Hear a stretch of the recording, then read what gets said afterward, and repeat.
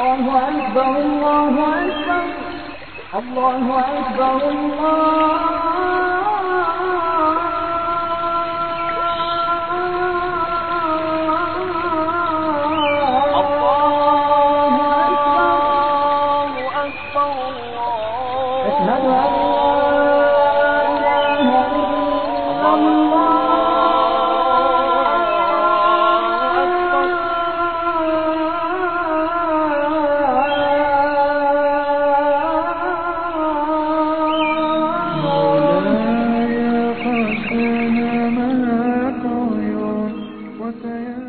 Islamska internet stranica Minber وحماك أبغي يا إلهي راجيا منك الرضا قل هذه سبيلي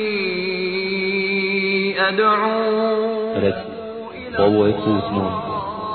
Ja pozivam ka Allahu, imajući jasni dokaz da ja i svaki onaj koji me slijedi إليك وفعل الله. يعني ملك اسمة رمضان أنا من المشركين. إسلامska internet stranica Minber في الربا أو لاح فجر. كلما فتح زهر أو سراب. ولتكن منكم أمة يدعون إلى الخير Neka među vama bude oni koji će na dobro pozivati i tražiti da se čini dobro, a od zla odvraćati. Oni će šta žele postići.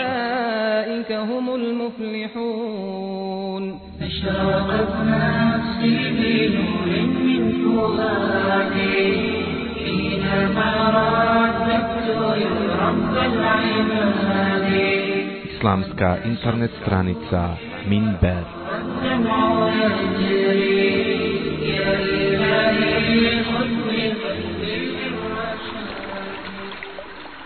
Allahu Akbar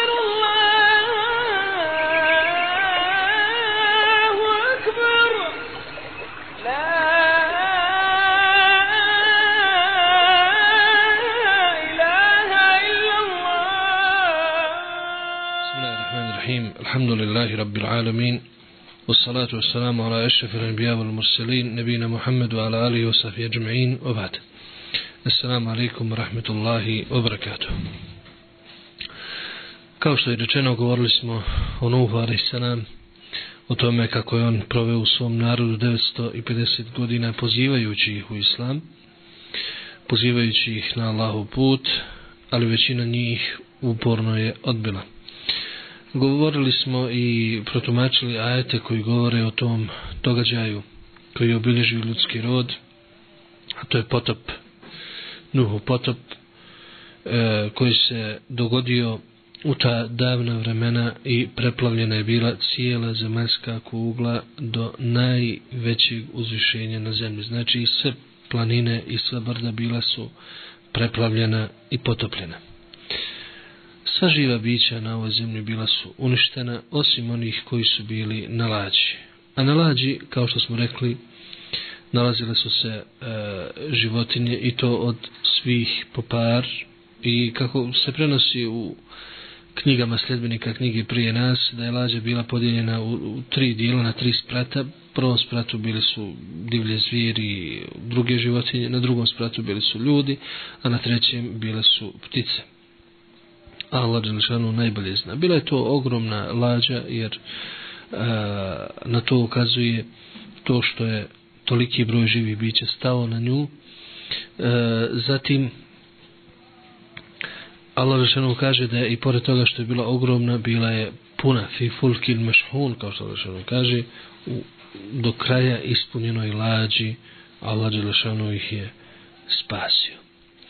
Zadnje o čemu smo govorili prošli put bio je događaj Nuha i njegovog sina Jama koji je potopljen.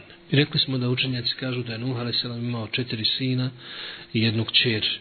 Za kćer se ne zna tačno da li je e, bila među vjernicima ili ne, postoji različita i oprečna mišljenja u vezi s tim, dok za njegova tri sina zna se da su bile s njim, to su Ham, Jafith i Sam, a za jama četvrtog Nuhovog sina Allah Žešanu je govorio o njemu i spomenuo ga u suri Hud, on je ostao sa nevjernicima i bio je potopljen kao i Nuhova supruga. Sve nam to ukazuje i uči nas da nikakve veze među ljudima ne pomažu i gube se ako nema imanske veze, ako nema ispravnog vjerovanja. Nuh a.s. kada je vidio svog sina kako se utapa i kako se pokušava spasiti u toj velikoj vodi i traži spas tamo gdje nema spasa, probudila se u njemu očinska ljubav. A ta očinska, odnosno roditeljska ljubav, ona je duboko urođena u ljudskim dušama. I zato, kažu učenjaci, primjetno je da nigdje u ajetima nema da Allah Đelešanuhu govori roditeljima budite dobri prema svojoj djeci. Pazite svoju djecu i tako dalje. Nego se to govori djeci da budu oni dobri prema roditeljima. Zašto? Zato što ta briga za djetetom, e, blagost i samilost prema njemu, ona je urođena u dušama ljudi, tako da je nije potrebno ponovo buditi i tražiti da se pojavi. Dok kod djece je to suprotno malo, oni počesto zaborave na roditelje i zbog toga ih treba i podsjećati. U Nuh, ali se nama probudila se ta očinska ljubav i blagost i samilost prema svom sinu, pa je rekao وَنَادَا نُوحٌ ابْنَهُ وَكَانَ فِي مَازِلْ يَا بُنَيَّرْ كَبْ مَعْنَا وَلَا تَكُمْ مَا الْكَافِرِينَ i Nuh pozva svog sina koji je bio udaljen od njih O sinko moj ir keb mana Wala takum mal kafirin Ukrcaj se s nama u lađu i nemoj biti sa nevjernicima. Ovdje postoje dva načina učenja. Ir keb mana o ir keb mana kao što je kod nas ovdje i oba su ispravna. Ir keb mana wala takum mal kafirin i nemoj biti sa nevjernicima jer Nuh zna Nuh zna da ostati s njima u tom slučaju znači propast. Međutim, oni čiji Allah Đelešanu srca učini slijepim to ne mogu prepoznati. I tako i Nuhov sin rekao je se avi ila džebelin ja simuni minelma. Ja ću se skloniti na brdo, na planinu, ono će me sačuvati vode, od vode. Međutim, ne radi se ovdje. Nuhov sin je previdio jednu veoma važnu stvar – a to je da na ovome svijetu uzroci sebebi povodi samo su uzroci i povodi i ništa više. Međutim onaj koji pomaže istinski onaj koji istinski pruža svoju pomoć je Allah Đelešanu. Zar neko misli da će, da će moći prijeći preko sirat čuprije samo zato što je snažan samo zato što može dobro trčati samo zato što zna hodat po žici neće moći takvi proći. Proći će samo oni koje Allah Đelešanu učusti. Takav je slučaj bio i ovdje kod Nuhovog sina. I zbog toga mu Nuh a.s. i reče La asime al jevmi nemri Allahi illa marrah. Nema pomoći danas nikome osim onome kome Allah Đelešanu se smiluje ili kome se smilovao. To jest onima koji su već na lađi, onima koji su nosili iman sa sobom. I zbog toga kažu učenjaci ovdje da ta imanska veza sa vjerovjesnicima jača je od bilo kakve rodbinske veze, pa čak između oca i sina. Zato Allah Đelšanu ovdje spasio je sa Nuhom ljude koji nisu imali nikakve rodbinske veze s njim. A s druge strane, njegov sin koji je bio u najbližoj rodbinskoj vezi s njim, nije bio spašen.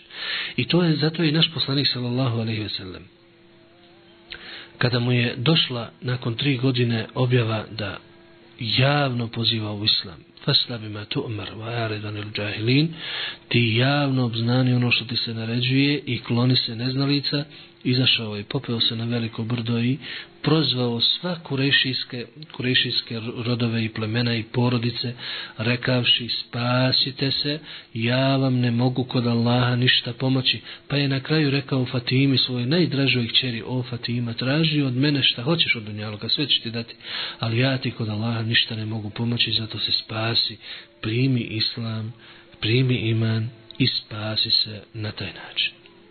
U tim trenucima kritičnim Nuh poziva sina, on mu govori da će se spasti ovako, Nuh, mu govori da nema spasa u tome, wahale bejnehum al mauđ. I između njih ispreči se veliki val, fakane minal mugraqin. I njegov sin bi potopljen. Znači trenuci i sve je završeno. Tako je kad Allahova Đelešanovu kazna dolazi i kad on kažnjava da nas Đelešanu sačuva svake njegove kazne. Nakon tog događaja Allah Đelešanovu naređuje zemlji, a zemlja je Allahovo stvorenje, njemu pokorno, također naređuje nebesima i voda se, kiša se zaustavlja. وقيل يا أرض ابلعي ماءك ويا سماء أقلعي وغيظ الماء وقضي الأمر ostavet ala ljudi. I bi rečeno, o zemljo, povuci svoju vodu, o kišo prestani i voda se povuče.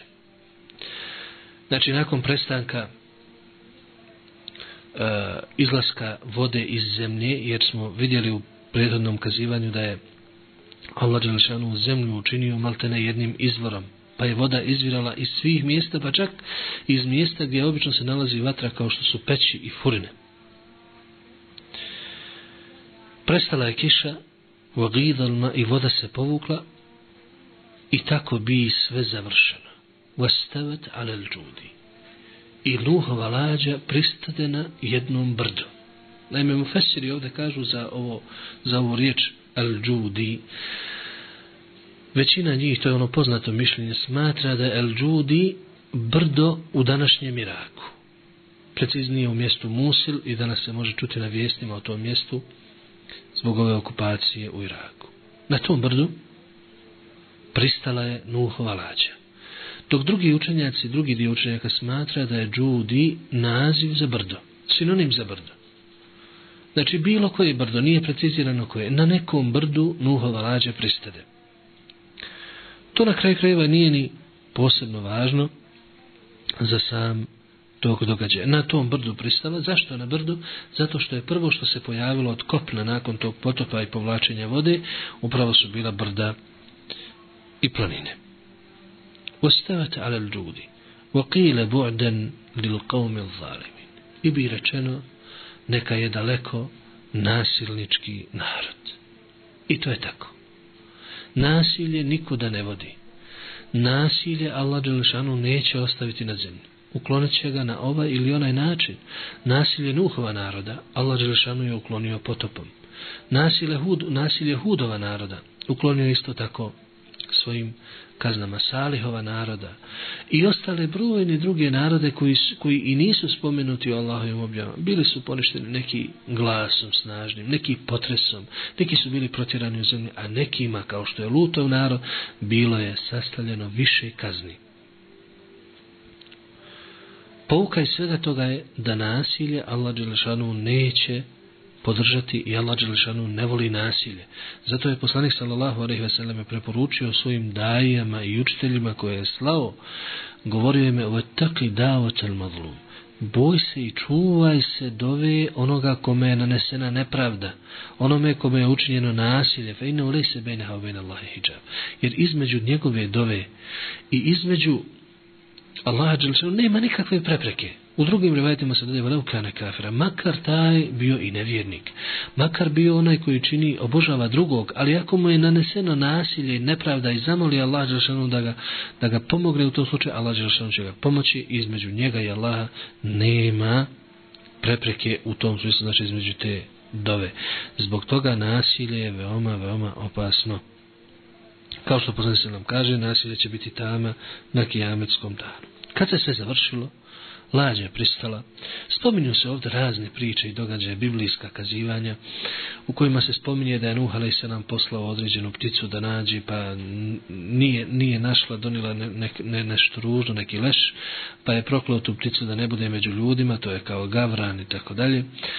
Pa je poslao goluba, onda golub je donio maslinovu grančicu, I od tada simbolično golub sa maslinovom granicom predstavlja simbol mira, života, suživota i tako dalje. Znači to su sve biblijska kazivanja koja nisu potvrđena, a nisu ni negirana. Allah Đelešanu zna da li su, da li su bila. Kad se sve to završilo, Nuh a.s. nije mogao da izbaci sliku svoga sina koji je potopljen Pa je zamolio Allaha Đelešanu i rekao وَنَادَا نُوحُ الرَّبَّ فَقَالَ رَبِّ إِنَّ إِبْنِي مِنْ أَهْلِي وَإِنَّ وَعْدَكَ الْحَقِّ وَأَنْتَ أَحْكِمُ الْحَاكِمِينَ I Nuh pozva svoga gospodara i reče Ja Rabbi, moj sin je dio moje porodice, a tvoje obećanje je istinito i ti si najpravedniji sudija. Kao da moli Allah Đelešanu da se smiluje njegovom sinu. قال يا نوح إنه ليس من أهلك إنه عمل غير صالح فلا تسألني ما ليس لك به علم إني أعيذك أن تكون من الجاهلين dolazi odlučen odgovor u kome je Nuhu rečeno o Nuhu on nije dio tvoje porodice on nije dio tvoje porodice to što radiš nije dobro djelo innehu amelun gajru sale. Znači to što me moliš za to nije dobro djelo. Po nekim ufesirima innehu amelun gajru sale znači da, da, da tvog sina koji je nevjernik uvedemo i ukrcamo u lađu zajedno s tobom, to ne bi bilo dobro djelo. Jer svi drugi koji su bili nevjernici i oni su potopljeni i to je zadesilo sve. Jer kod Allah Želšanu postoji vjernik ili nevjernik. U drugom kirajetu stoji innehu amile gajra sale. Tvoj sin nije radio dobra djela, odnosno radio je loša djela, tako da ne dolikuje da on bude s tobom ulađi. Felates el nima lejse bihel. Zato ne traži od mene ono što ne znaš. Što ne poznaješ, inni eidu kan te kunem il džahlin. Savjetujem te da ne budeš neznalica. Tako Allah Đelšanu odgovara Nuhu na to pitanje. Ovaj propis je bio od Nuha a.s. do posljednjih poslanika Muhammeda sallallahu ve. Poslanik sallallahu ve sellem nakon smrti svog amidže Ebu Taliba rekao je da će moliti Allaha Đelešanu dok mu to ne bude zabranjeno. I on je molio, pa je došao ajet koji govori da, se, da, da, da molili 70 puta ili više. Budan se nam je rekao, molit ću i više od 70 puta, a onda je došla konačna zabrana da, vjerni, da vjerovjesnik i vjernici ne trebaju i ne smiju da mole oprosta za one koji su nevjernici, kada već znaju da će biti u džehennemu. I tada je došla konačna zabrana da se za nevjernike ne smije tražiti oprost i upućivati se dove kad su već umrli kao nevjernici i kada je potvrđeno da će biti stanovnici džehennema. Zbog toga je poslanik sallallahu alejhi ve selleme kako bilježi ima muslim zamolio Allaha dželešanuhu da moli oprost za svoju majku, ali nije mu dozvolio. Pa je tražio da da da posjećuje njen kabur, pa mu je dozvolio da posjećuje njen kabur. I onda je poslanik za selem često išao na njen kabur i plakao bi, čak bi i ashave rasplakao tom prilikom. Nuh a.s. na to je samo rekao, kale rabbi inni a'udhu bike nes'eleke ma lejse li bihi ilm, وإلا تغفر لي وترحمني أكون من الخاسرين. يا ربي molim te učećem se tebi da tražim od tebe ono što ne znam. Ako mi ti ne oprostiš i ne smiluješ mi قيل يا نوح اهبط بسلام منا وبركات عليك وعلى أمم ممن معك وأمم, وأمم سنمتعهم ثم يمسهم منا عذاب أليم I bi rečeno o Nuhu izađi iz lađe, spusti se, siđi na zemlju s našim selamom i blagoslovom na tebe i na narode koji će doći poslije tebe. Ovdje Nuhu dolazi Bišaret, radosna vijest, da će on, da će nakon njega i nakon ovoga nastaviti se život na ovoj zemlji, nastaviti ljudski rod svoj, svoj tok sve do određenog, sve do određenog roka. Neki učenjaci kažu da jedino Nuh a.s. i njegovi sinovi imali su potomke, a ostali vjernici, kojih je po nekim biblijskim izvorima bilo ne više od 80, po nekim 83, u svakom slučaju malo, kao što Lešanu kaže, o mamene mahu illa kalil, a vrlo malo njih je povjerovalo u Nuha. Oni su nastavili ljudski rod i svi ljudi nakon Nuha potiču od njega, odnosno njegovih sinova. Dokaz za to je ajet u kojem Lešanu kaže, ođe alna zurdijetehu humul baqin. I mi smo njegovo potomstvo učinili da ostane ono koje će nastaviti ljudski rod. I zbog toga Nuh a.s. i nazivaju drugi Adem, a neki ga nazivaju mali Adem. Znači Adem a.s. je začetnik ljudskog roda uopće, a Nuh a.s. je začetnik ljudskog roda nakon potopa alaihima as-salam. Kaže Lešanu nakon ovoga, tilke min enba'il gajbi nuhiha ilajk, ma kunte ta'lamuha ente vala qavmuk, min qabli hada, fasbir inna l'aqibata lil muttaqin. To su vijesti iz prošlosti, koje ti mi objavljujemo, kaže Allah Lešanu poslaniku ti nisi za njih znao, ni ti, ni tvoj narod prije ovoga, zato se strpi, jer u istinu završetak pripada bogobojaznima, vjernicima. Znači, Allah nakon ovoga poslaniku sa seleme kaže kao vid utjehe. I mi smo rekli da jedna od, jedan od ciljeva kuranskih kazivanja jeste upravo utjeha poslaniku, a i vjernicima nakon njega, da u istinu mi zaključujemo iz tih kazivanja da završetak, sretan završetak, pripada nikome drugome do vjernicima i bogobojasnima. Što se tiče pouka i koristi iz kazivanja o Nuhu a.s. iz njegovog života, one su uistinu brojne. Neke smo već spomenuli u toku govora o Nuhu a.s. i njegovom narodu, a neke ćemo sada spomenuti u kratkim crtama. Prvo, Nuh a.s. je prvi poslanik na zemaljskoj kugli. Rekli smo da je Adem a.s. bio vjerovjesnik, a nije bio poslanik. I rekli smo da učenjaci kažu da je razlika između vjerovjesnika i poslanika to što je vjerovjesnik dolazio muslimanima, a poslanik nevjernicima. Znači prvi poslanik koji se pojavio među nevjernicima bio je Nuh a.s. Jer vidjeli smo da između Adama a.s. i Nuha, pojave Nuha bili su, bili su generacije, deset generacija kako se spominje u hadisu ili e, hiljadu godina po drugim učenjacima prošle, a ljudi su bili na ispravnom vjerovanju, bili su muslimani, obožavali su jedino Allaha Đelešanu. I vidjeli smo da nakon smrti onih dobrih ljudi u narodu i pravljenja kipova u njihovim oblicima kako bi se podsjećali na njih i na njihovi badet, došle su generacije koje je šeitan zaveo do te mjere da su počeli obožavati te kipove e, pod izgovorom da su to kipovi koji su njihovi preci obožavali. Vidite kako jedno neznanje povlači drugo i odvodi, odvodi u zabludu.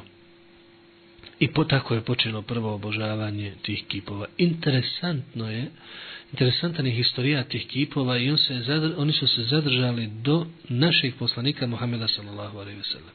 Onaj ko je porušio i slomio te kipove, to prvo mnogoboštvo i višeboštvo na zemaljskoj kugli, bili su ashabi Muhameda sallallahu sellem. Naime, kako je to poslanik sallallahu opisao da je Amr ibn Luhaj al-Huzai prvi koji je uveo obožavanje kipova u Mekki. Naime, pleme Al-Huza bilo je, vladalo je Mekom prije Kurešije. I on je bio njihov velikan, vladar, čovjek koga su ugledali, on je lutao svijetom i vidio je kipove koji su ga zadivili. I on ih je doveo u Meku, donio ih je, iskopao, nekim predanjima se spominje da je to njemu došlo u snu, da je šetan došao i objavio mu to, rekao mu gdje se nalaze. I uglavnom on ih je dovukao u Meku i u Mekki su bili obožavani ti kipovi. Svako pleme je uzelo po jednog kipa iz Nuhovog naroda. Znači, tek je ovaj umet taj koji je porušio kipove iz ovog Nuhovog naroda. Drugo, Vidimo Allahovu milost prema njegovim robovima jer ih nije ostavio napuštene i nije ih ostavio bez upute. Nego im je poslao poslanika, pa koga prihvati ući će u džennet, a koga odbije, propisan mu je džennet. To je Allahov zakon od prvog ljudi do kijametskog dana. Nijedno, nijedne ljude nije ostavio, nijedan narod nije ostavio bez poslanika i upućivača, kao što Zašanu kaže, veli kulli svaki narod je imao svog upućivača, to jest poslanika koji ih izvodio na pravi put. Treće, vjera je srž života. i osnovni cilj. Kao što Allah šanu kaže, Oma halaktul džinna wal insa illa li abudun. A džine i ljude stvorio sam samo da bi me obožavali. To je svrha. I ljudi kada promašaju taj cilj, promašili su život. I njihov život nema više prave istinske vrijednosti. Sve ovaj život, sve ovo što je stvoreno u čovjeku, oko čovjeka, sam čovjek, ovaj svijet oko nas, zar je moguće da čovjek shvati i, i misli da je to stvoreno samo da bi on napravio kuću, sagradio kuću, zaposlio se i na kraju toga umro i ništa više da ne bude? To nema logike čak ni po nekakvim ovozemaljskim rezonima. Normalno je da sve ovo što je oko nas stvoreno, sav ovaj život, stvoreni svijet oko nas, ukazuje na nešto veće, veličanstvenije, vrednije od ovoga svega. Naravno, da Kur'an i sve prethodne objave jasno govore da je čovjek stvoren za dženneta, a ne za ovoga svijeta. I mi to vidimo svaki dan, ljudi sele odavde, odlaze nekuda, umiru, gdje odlaze? Mi to možemo samo saznati iz kuranskih tekstova i iz hadisa Allahovog vjerovjesnika sallallahu A to rečeno je da odlaze u Berzah, a nakon toga doći će veliki dan suda, nakon čega ljudi će se podijeliti na džennetlije i na džehennemlije. Znači, život nema smisla ukoliko u njemu uistinu nema vjere i čovjek nije povezan sa Allahom Đelešanu. Četvrto, iskazivanja, iz ovog kazivanja o Nuhu mi zaključujemo da budućnost pripada vjeri. Kako god bilo. Ljudi mogu lutati jedno vrijeme, kao što se dogodilo i ovdje, vidjeli ste, ljudi su 50 godina tvrdili nema Boga, pa neki su raspravljali ima, ali nema. Ali na kraju sve to izlapjelo, ostalo je samo ono što koristi ljudima i ostala je istina jasna i vidljiva. Prema tome, tako će proći i sve druge zablude, tako će proći i sve ostalo, ali ostaće prava i istinska vjera. Odhirahu ala dini kullihi, Allah Žešanu je svom poslaniku jasno rekao da je objavio vjeru da bi je uzdigao iznad svih drugih vjera, kao što kažemo u Fesiri, to se još nije dogodilo, to će se dogoditi u budućnosti. Dalje, iz ovog kazivanja također vidimo da Allahova pomoć vjernicima doći će, pa makar oni bili malobrojni. Znači pravi vjernici će na ovaj ili onaj način biti spašeni, Allah Đelešanu ih neće ostaviti na cjedilu, Allah Đelešanu je uzeo sebi u obavezu pomoći vjernike, znači to je ono što daje vjerniku moral, podstrijek, da izdrži sve nedaće na koje nailazi kroz ovaj život. Sedmo, ili sljedeći, od Nuha a.s. možemo naučiti kako podnositi neugodnosti od vlastitog naroda. Znamo da su vjerovjesnici i poslanici bili birani iz najuglednijih porodica, što znači da su prije toga bili ugledni. Mi znamo da su našeg poslanika Muhameda sallallahu alejhi ve nazivali al-amin, pouzdani, povjerljivi, iskreni. Ostavljali su kod njega svoje a, svoje vrijednosti na čuvanje, slali su ga u trgovinu s potpunim povjerenjem, bez, ikakvih, bez ikakve rezerve, ali kada je došao i rekao da nema istinskog Boga osim Allaha i da je to što oni rade neispravno, da to nije u redu, onda su se okrenuli protiv njega. Rekli su mu da je lud, rekli su mu da je, da je u zabludi, rekli su mu da e, nije ništa bolji od njih, rekli su mu da je samo on čovjek, isto što su rekli Nuhu, ali se nam, isto što su rekli i svim drugim poslanicima, kao što Allah kaže, ma yuqalu laka illa ma qad qila lirusuli min qablik. Tebi neće ništa biti rečeno osim onoga što je rečeno poslanicima prije tebe. Znači od Nuh a.s. učimo kako podnijeti neprijatnosti i neugodnosti od vlastitog naroda. I to ne samo na jedno određeno vrijeme, nego je to Nuh a.s. skoro hiljadu godina podnosio. To je uistinu nešto veliko i veličanstveno. I pored toga je bio zahvalan. Jer Allah Đelšanu ga u suri Isra nazvao innehu kane abdel šekura. On je bio Allahov zahvalni rob opisujući Nuha alaihissalam. Dalje od Nuha alaihissalam učimo kako se treba strpiti na pozivu u vjeru. Znači Nuh alaihissalam I pored svih tih pritisaka. I pored toga što ljudi koji su ga prihvatali bili su malobrojni. Rekli smo, biblijski izvori govore oko 80 ljudi, 83 najveća cifra koja se spominje. U nekim predanjima čak se spominje 13 ljudi. Prema tome nije važno, cifra je bila mala, dovoljne su Allahove riječi u kojima stoji Vama amen mahu illa kalil. A onih koji su povjerovali njega bilo je vrlo, vrlo malo. I pored toga Nuh se nam je strpljivo prenosio da govorio pozivao danju, noću, tajno, javno. Nije se umarao, nije zastajao. Na razne načine, učimo od Nuha, ali se nam također razne načine poziva u vjeru. Tako da čak neki učenjaci mu fesiri nazivaju suru Nuh sura Dave. Sura poziva. Kako treba pozivati u davu? Kako treba ljude pozvati vjeri? Prema tome, sve to učimo od Nuh a.s. Čak kažu učenjaci, Nuh a.s. nije proučio dovu protiv svoga naroda da ga Allah uništi, sve dok Allah nije objavio i rekao innahu len yu'mina min qawmike illa men kad amen. Od tvog naroda više neće vjerovati niko osim onih koji su povjerovali. Kad je došao to je ajet, kad je došla ta objava, tek tada je Nuh a.s. vidio da nema više nade i zamolio je Allah da ih uništi. Znači Nuh a.s. nije dovio da ih uništi prije te objave nego kada je već bilo rečeno da neće više niko, ni jedan čovjek povjerovati, tek tad je rekao, Rabbi la tedar al ardi min al kafirine da jara. Ja, Rabbi, ne ostavi na zemlji ni jednog nevjernika. Znači, samo je molio Allaha da ubrza to njihovo uništenje. Prema tome učimo od Nuha, salam, kako se strpiti u davi i načine kako pozivati u vjeru. Dalje, učimo od Nuha šta znači istinsko pouzdanje i istinsko oslanjanje na Allaha Đelešanu. Mi smo prošlo, u prošlom kazivanju govorili o Nuhovoj muđizi, a to je njegov izazov, upućen njegovom narodu i velikanima, kada im je rekao da svi se sakupe, svi se slože i to urade javno, da mu nimalo ne dadnu vremena i urade s njim šta žele i šta hoće i da pozovu sve koje mogu pozvati u pomoć i ljude i džine pa čak i svoja lažna božanstva.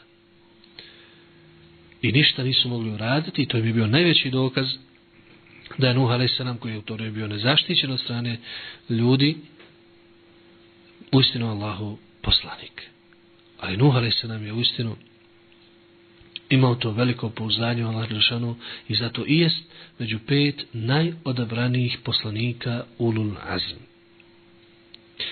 Dalje od Nuh a.s. učimo kako treba tražiti uvijek pomoć od Allaha Đelešanu. Nuh a.s. iako mu je rečeno da pravi lađu, ipak kada ulazi u lađu, kaže irkebu fiha bismillahi međriha. Znači ukrcajte se u lađu i neka sa Allahovim imenom ide. Znači pomaže se Allahom Đelešanu. Traži od njega pomoć u svim momentima, a naročito u tim teškim. Također, karakteristika Nuha, ali se nama jučimo od Nuha kroz ovo kazivanje, da uvijek moramo imati dovu kod sebe. Uvijek upućivati Allahu Đelešanu dove. Nuh ali se nam je u niz ajeta, vidjeli smo Đelešanu govori, da je molio Allah Đelešanu, da je upućivao dove, tako da i mi trebamo da molimo i upućujemo dove. Koliko mi imamo problema u životu?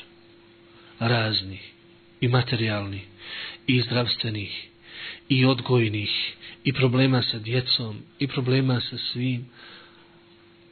I koliko puta istinski iskreno uputimo dovu Allahu ili više mislimo na ljude, na ljekare, na ovoga, na onoga ko će nam pomoći, kako ćemo prevazići materijalne probleme, novčane probleme, tako što ćemo ovo ili ono, treba raditi, treba se truti, ali ne smije se zaboraviti onaj koji je obskrbitelj svih.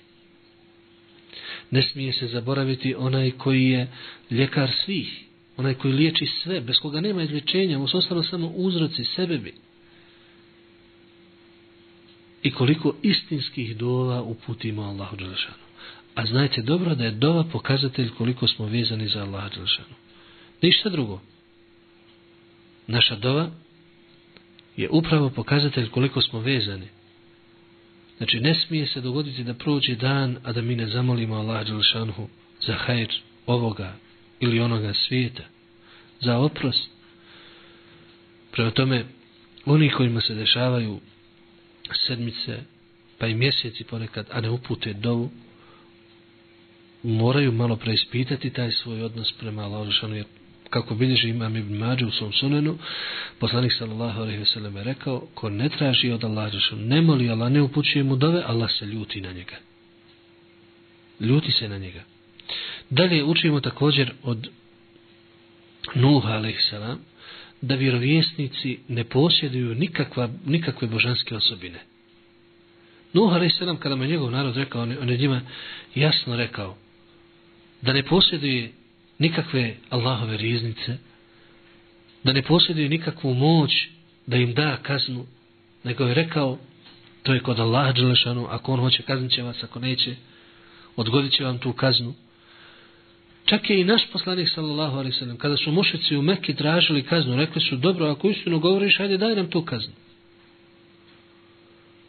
A poslanik sallam kaže, odnosno naš قل لو كان عندي ما تستاجرون به la kudijel amru bejni ve bejnekum. Reci da ja posjedujem to, tu moć, da vas ja mogu kazniti tom kaznom, između mene i vas bi bilo završeno. Ali di Pa čak ni uputu. Alšano jasno kaže poslanik sallam i to povodom smrti Ebu Taliba inneke la tehdi Ti ne možeš uputiti koga ti hoćeš. Lakin Allah jedi menješa nego Allah upućuje koga hoće. U srce ubacuje uputu onoga koga hoće. A koga bi ti volio uputiti koga bi želio uputiti ne možeš ako to Allah Đelešanu neće. Prema tome Nuh a.s. kao i ostali vjerovjesnici i poslanici ne posjeduju nikakve božanske osobine. To su ljudi ali im se objavljuje.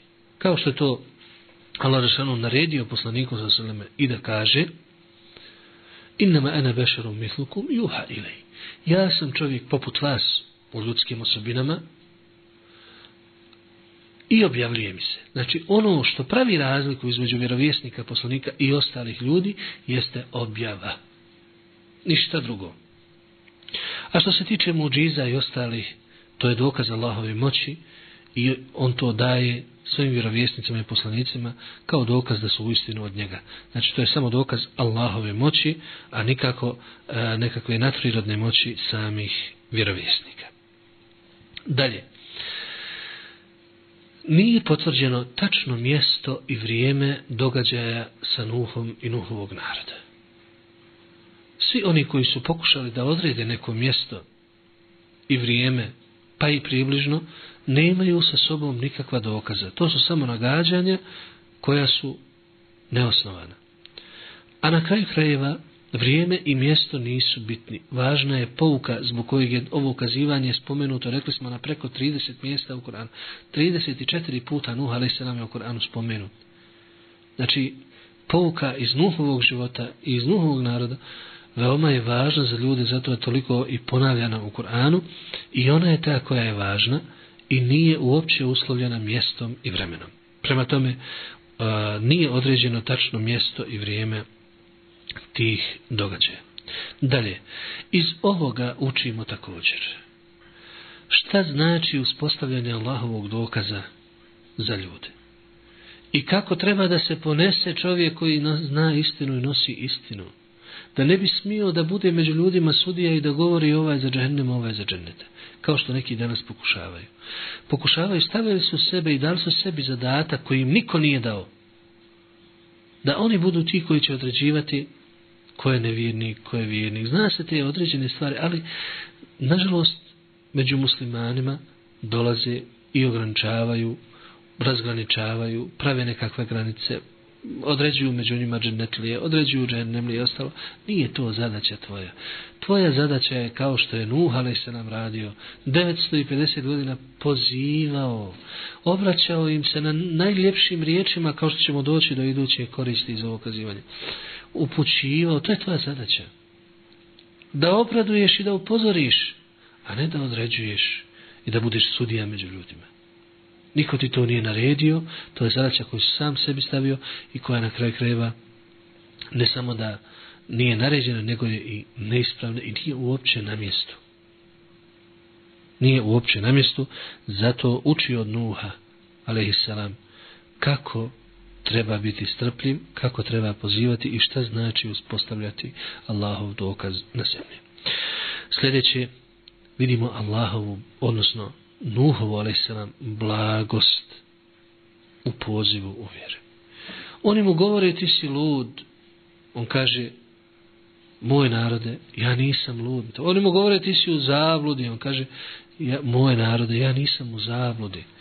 Oni mu govore da nije ništa bolji od njih. A on njima govori, a šta mislite ako sam ja na uputi i na znanju, a vi to ne vidite, pa da ćemo vas prisiliti i tako dalje.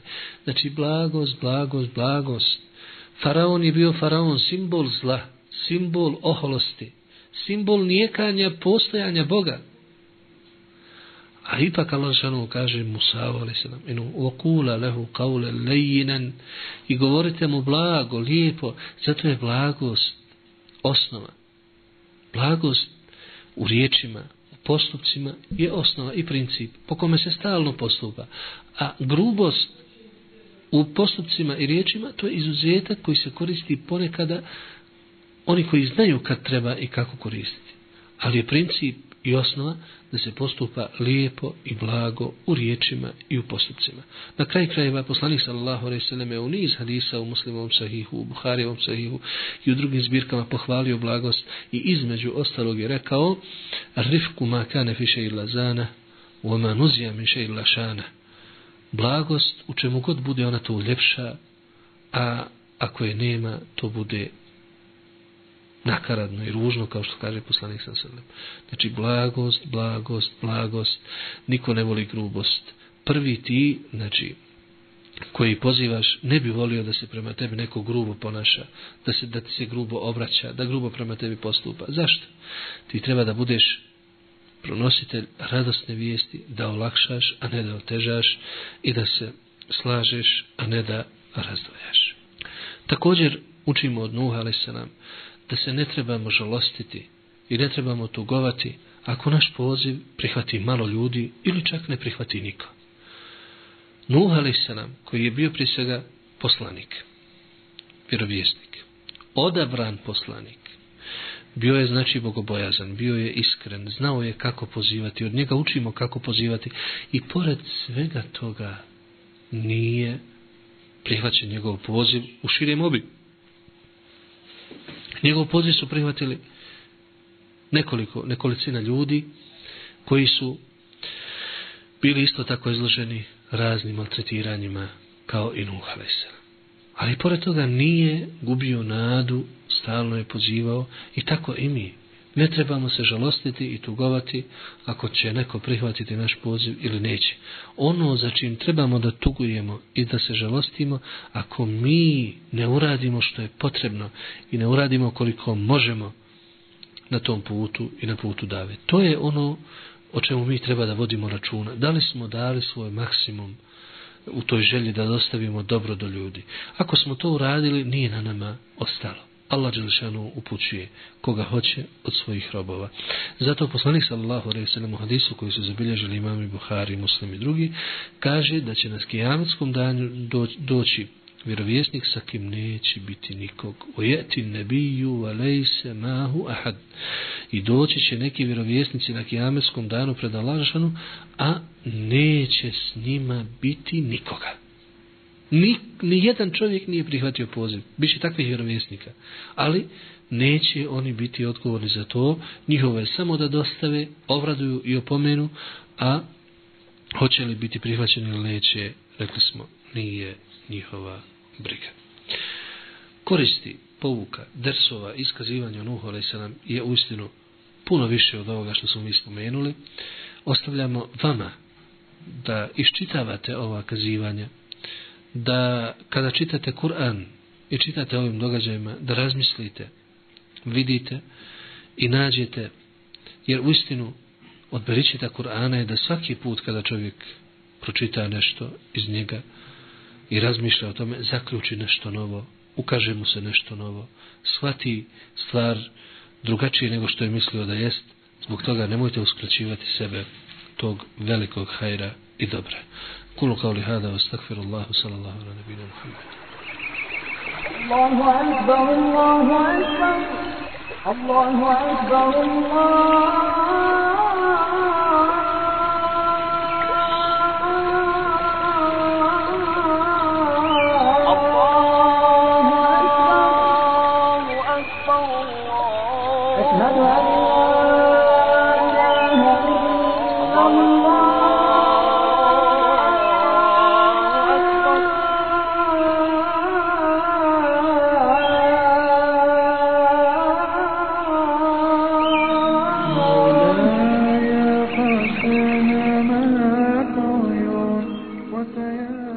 Islamska internet stranica Minber وحماك أبغي يا إلهي راجيا منك الرضا قل هذه سبيلي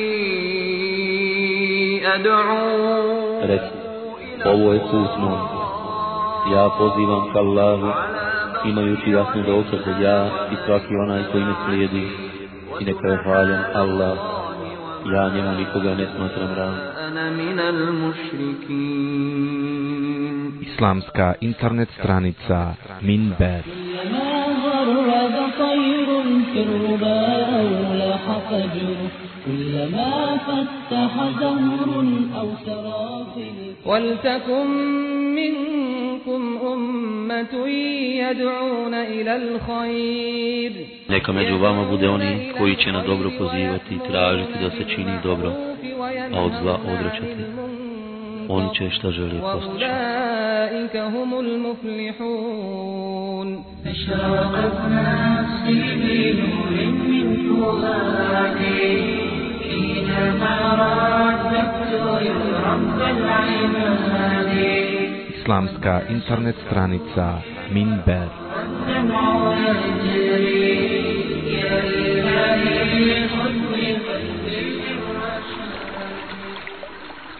Allahu akbar, Allah.